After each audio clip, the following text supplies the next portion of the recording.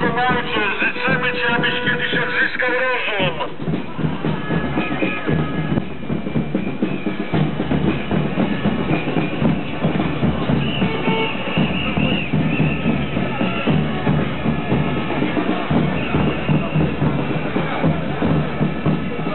O niewchodzenie przed samochód.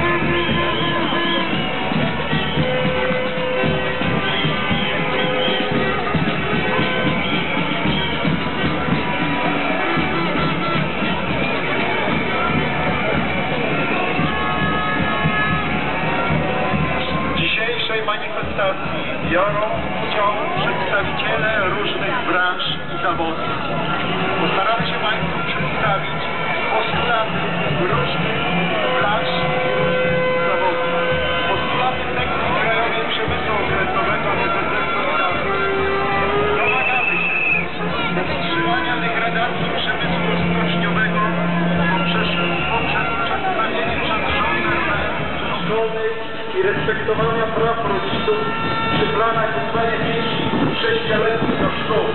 Wszyscy pamiętamy, jak w Ostąpiu w stosunku do miliona osób wczoraj polski parlament odrzucało propozycję referendum w tej sprawie. Wycofanie się z, z zróżnicowania obowiązkowego pensum pedagogów, psychologów, logopedów przez jednostki samorządu terytorialnego. Zapewnienia właściwego finansowania edukacji, a tym godnego poziomu wynagrodzeń dla nauczycieli, ale też pracowników administracji i obsługi szkolnej. Do przestania likwidacji bibliotek szkolnych.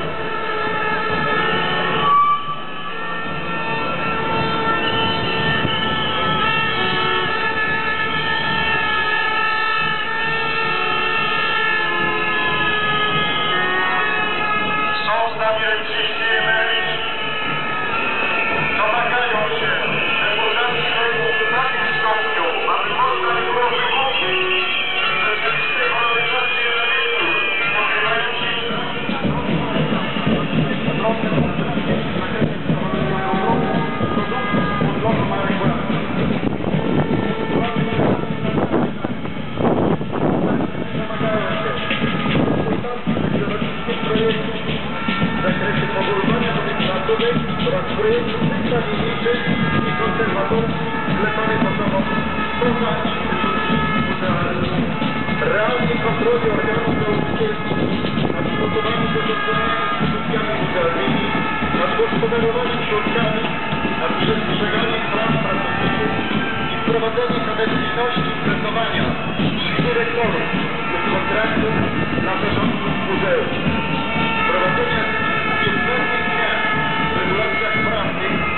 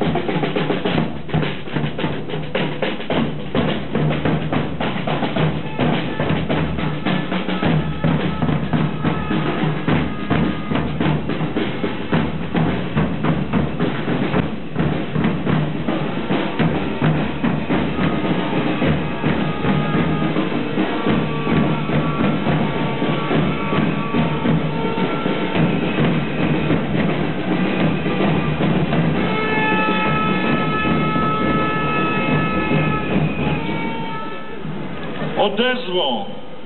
My, uczestnicy manifestacji w dniu 9 listopada 2013 roku, domagamy się od rządzących naszym krajem poszanowania podstawowych praw pracowniczych i konstytucyjnego prawa do realnego dialogu społecznego. Minęły blisko dwa miesiące od wielkiej manifestacji w Warszawie. W tym czasie rząd pozostał głuchy na postulaty zgłaszane przez nasze organizacje. Potwierdził tym samym, że nie ma zamiaru poważnie traktować partnerów społecznych i słuchać ludzi. Dlatego raz jeszcze z całą mocą powtarzamy, dość lekceważenia społeczeństwa. Nie chcemy pracować aż do śmierci. Nie chcemy elastycznego czasu pracy, który w praktyce służy do obniżania często głodowych wynagrodzeń. Domagamy się wyższej płacy minimalnej i godnych emerytur. Żądamy ograniczenia stosowania umów śmieciowych, które stają się patologiczną praktyką, zastępując normalne umowy o pracę. Żądamy zmiany prawa o referendach. Nie bójcie się głosu ludzi. To naród jest rzeczywistym suwerenem, a każda władza powinna mu służyć. Domagamy się prawdziwego, równoprawnego dialogu społecznego reprezentatywnych partnerów. Apelujemy do wszystkich. Chodźcie z nami, to także wasza sprawa. Zostając w domu, nie angażując się, wyrażamy zgodę na masową emigrację za chlebem pokolenia młodych, często świetnie wykształconych Polaków. Aprobujemy kilometrowe kolejki w pomorskich szpitalach i często dramatyczne warunki pracy ochrony zdrowia. Zgadzamy się na brak polityki prorodzinnej. Tu na Pomorzu coraz mniej jest zakładów przemysłowych, które produkują, dając pracę i budując realną gospodarkę. Pokażmy, że nie ma zgody na kontynuowanie antypracowniczej polityki, na traktowanie pracowników jak współczesnych niewolników, pracujących za przysłowiową miskę zupy. Nie pozwólmy innym decydować za nas. Apelujemy do pracowników niezrzeszonych, przyłączcie się. Tylko razem możemy skutecznie walczyć o nasze prawa. Zbliża się czoło manifestacji. Przypominamy, że dziś na ulicę Gdańska wyszli przedstawiciele trzech związkowych central. Regionu Gdańskiego NSZZ Solidarność, OPZZ-u i Forum Związków Zawodowych. Także w naszej manifestacji uczestniczą szefowie trzech central. Piotr Duda, przewodniczący Komisji Krajowej NSZZ Solidarność, Tadeusz Kołka, przewodniczący Forum Związków Zawodowych oraz Jan Bus, szef.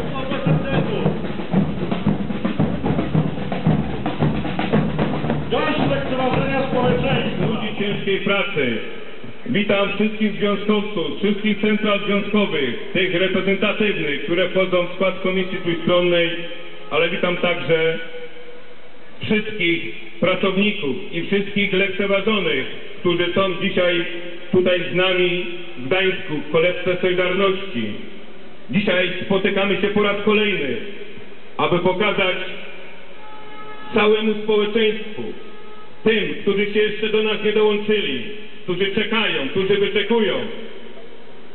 Więc ja im z tego miejsca mówię, nie macie na to czekać, bo lepiej nie będzie.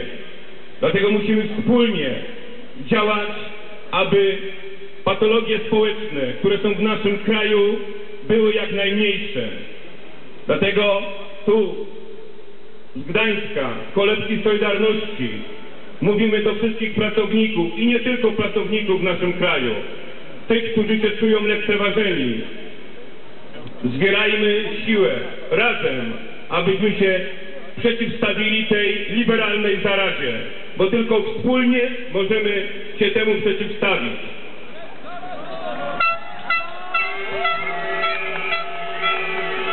Będziemy brali udział w każdych rozmowach, w każdych negocjacjach, bo nam zależy na sprawach pracowniczych, na pracownikach, ale nie będziemy robić wiaru panu premierowi, że udają, że prowadzą dialog społeczny, a dialog społeczny wygląda tak, że ludzie wychodzą, setki tysięcy ludzi, nie wychodzą miliony na ulicę. I tak jest polski dialog społeczny i my to musimy zmienić.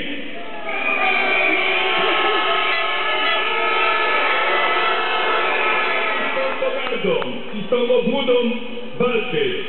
Wczoraj mieliśmy w Sejmie kolejny popis obłudy i pogardy w stosunku do społeczeństwa.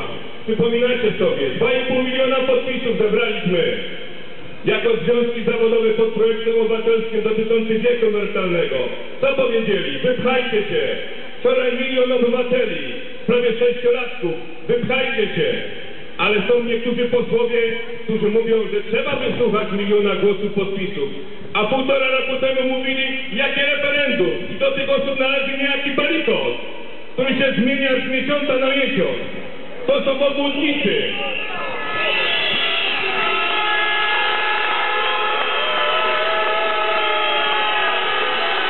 Moi drodzy,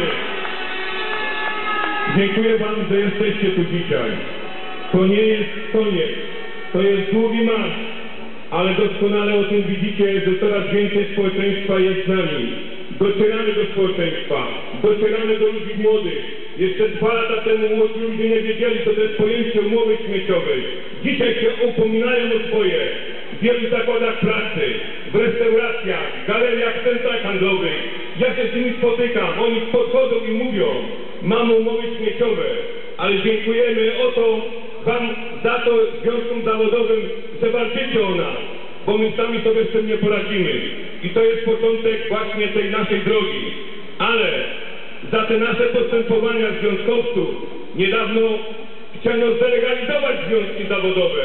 Posłowie pisali nową ustawę, ale dzisiaj poseł, który tak się wybijał, niejaki poseł Jarosz, Czym się zasłużył niedawno? Mówił, że związki zawodowe patrzą się na spółkach Skarbu Państwa. Mówił, mówił, że jesteśmy mafią związkową. Kto jest dzisiaj mafią związkową? Kto załatwiał pracę w KGHM-ie? Piotr Duda czy poseł Jarosz i poseł Protasiewicz?